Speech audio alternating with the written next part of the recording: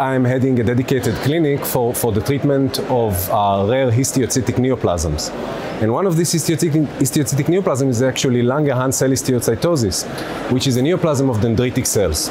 And uh, what we see here is a disease in which the diseased dendritic cells, the mutated dendritic cells, have the capacity to infiltrate different systems in the human body and form tumors. So typically this is a very heterogeneous disease which can range from unifocal indolent disease all the way to a multisystemic, multifocal form.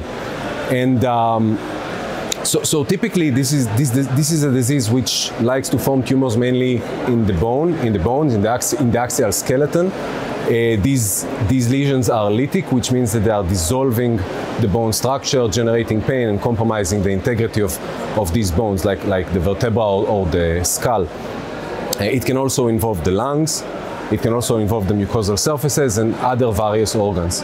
Now, up until 2013, we used to treat these neoplasms with uh, chemotherapy. We still do, by the way, today, with cytarabine.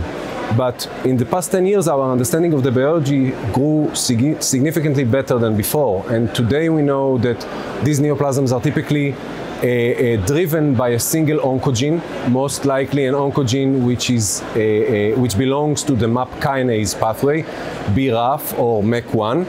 And, and they are also highly stable tumors from a genomic perspective. So once you are able to detect the driver mutation and once you are able to tailor treatment properly, uh, uh, what you get is a very fulminant response as the, as the disease is highly dependent on the oncogene. Now, moreover, this disease does not diverge into a multiclonal state in the majority of cases.